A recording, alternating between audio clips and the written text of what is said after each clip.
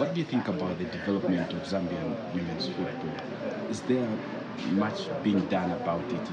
Yeah, exactly. I think uh, our women's football now is developing. Looking, we have a national league, and we are play. Uh, they are playing different uh, teams from the Copper Belt to Lusaka. I think it's uh, it's adding an advantage to meet uh, each and uh, different team which is strong so that the team the teams uh, may compete uh, on a better side. Mm. What would be your words to soccer fans about supporting women's football? What words do you have for them?